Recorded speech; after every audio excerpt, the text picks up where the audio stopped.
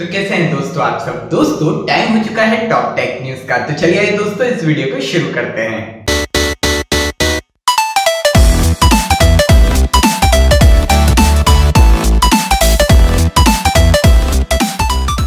तो दोस्तों, आज की सबसे पहली टेक न्यूज़ की बात की जाए तो वो आ रही है सैमसंग की तरफ़ से। जी हाँ दोस्तों सैमसंग ने लॉन्च कर दिया है अपना एक नया स्मार्टफ़ोन जिसका नाम है गैलेक्सी F41 दोस्तों, यहाँ पे ये डिवाइस जो है ट्रिपल रेयर कैमरा के साथ आपको देखने को मिलता है। वहीं अगर इसकी डिस्प्ले की बात की जाए तो इसमें लगी हुई है 6.4 इंच की सुपर एमलेट डिस्प्ले प्रोसेसर यहाँ पे आपको प्रोवाइड किया गया है एक्जीनोस 9611 और वहीं अगर बात की जाए फ्रंट कैमरा की तो 32 मेगापिक्सल का फ्रंट कैमरा शूटर है। वहीं अगर इसकी रैम और स्टोरेज की बात की जाए तो इसमें सिक्स जी बी रैम और sixty four G B storage है और सबसे मेन यहाँ पे बैटरी कैपेसिटी जो है वो सिक्स थाउज़ेंड एम एच की है। वहीं दोस्तों, इसके बाद अगली टेक न्यूज़ की बात करें, उससे पहले आप इस वीडियो को जोरदार लाइक दे दीजिए।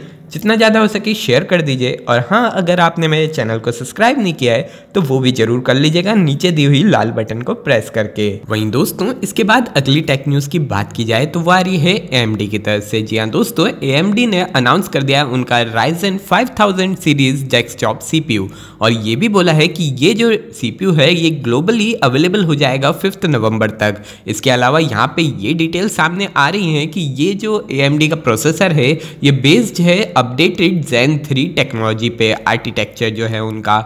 इसके अलावा दोस्तों, यहाँ पे सिंगल और मल्टी कोर परफॉर्मेंस अगेन आपको देखने को मिलेगी इसके अंदर। वहीं दोस्तों, इसके बाद अगली टेक न्यूज़ की बात की जाए तो वो फिर से आ रही है सैमसंग की ही तरफ़ से। और सैमसंग ने इसके अलावा यहाँ पे लॉन्च किया है Galaxy A twenty one S model भी।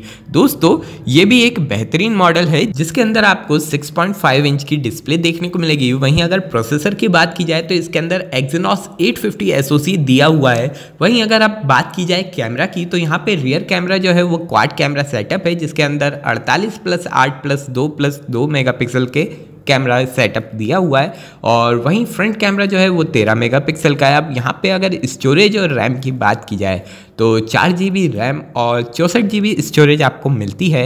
वहीं अगर बात की जाए सबसे मेन बैटरी कैपेसिटी की तो यहाँ पे इसके अंदर आपको मिलने वाली है 5000 थाउज़ेंड की बैटरी वहीं दोस्तों, इसके बाद अगली टेक न्यूज़ की बात की जाए तो वारी है पैनासोनिक की तरफ़ से और पैनासोनिक ने लॉन्च कर दिया है wifi enabled smart LED bulb जो कि मल्टी कलर में ऑप्शन में आपको देखने को मिलेगा। इसके अलावा यहाँ पे आप ऑटो शेड्यूलिंग का ऑप्शन भी आपको मिलेगा कि जहाँ पे आप शेड्यूल कर सकते हैं ऑटोमेटिक ऑटोमेटिकली वो उसी तरीके के कलर में आ जाएगा। और यहाँ पे नियरली 16 मिलियन शेड्स जो है, ये आपको ऑफ़र करेगा और ये नो वॉट का बल्ब है। वहीं दोस्तों, इसके बाद अगली टेक न्यूज़ की बात की जाए तो वो आ रही है स्नैपडील की तरफ़ से।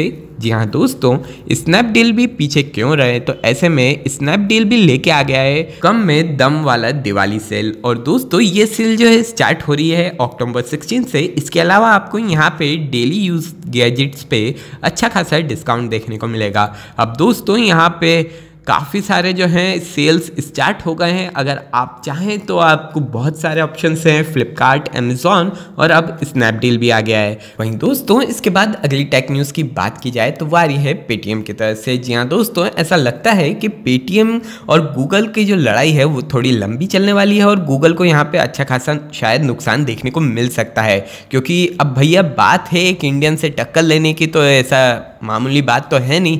तो ऐसे में पेटीएम मिनी ऐप स्टोर जो है वो टारगेट कर रहा है वन मिलियन ऐप्स को 2021 के क्वार्टर वन तक अपने सर्विस पे लेके आने का। और ऐसा यहाँ पे जो उनके सीईओ हैं पेटीएम के, उन्होंने भी कहा है कि देखिए भैया ऐप डेवलपर्स और जो दूसरे लोग हैं, उनकी भलाई के लिए और अच्छे के लिए भले ही किसी का किंगडम जो है या रोड है, वो अपने होशियारी मारते रहें, हम आगे बढ़ के रहेंगे। ऐसे इनडायरेक्ट वे में गूगल को बताया है। और इसके अलावा थर्सडे को ये सब सुनने के बाद ऐसा लगा कि अल्फ़ाबेट्स गूगल की जो इंडियन मोबाइल इकोनॉमी है, उसको चैलेंज दिया जा रहा है। वहीं दोस्तों, इसके बाद अब आज की आखिरी टेक न्यूज़ की बात की जाए तो वो आ रही है माइक्रोसॉफ्ट की तरफ़ से। जी हाँ दोस्तों, अगर आप माइक्रोसॉफ्ट ऑफ़िस को उपयोग में लेते हैं तो यहाँ पे ऐसे में जल्द ही आपको जो है एक नया वर्जन मिलने वाला है। विदाउट सब्सक्रिप्शन के और ये जो है अपडेट या न्यू वर्जन जो है आपको अगले साल यानी कि 2021 के सेकेंड हाफ़ में मिलेगा। ऐसा जो है एक ब्लॉग शेयर किया गया है ऑफिशियली माइक्रोसॉफ्ट एक्सचेंज टीम के द्वारा।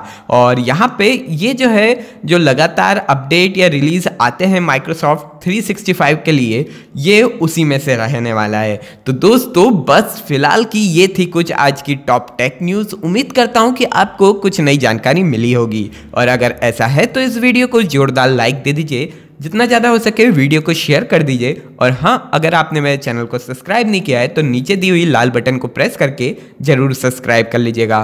तो दोस्तों, फिर मिलता हूँ मैं आपसे ऐसी ही अगली टेक न्यूज़ में। तब तक के लिए जय हिंद, वंदे मातरम।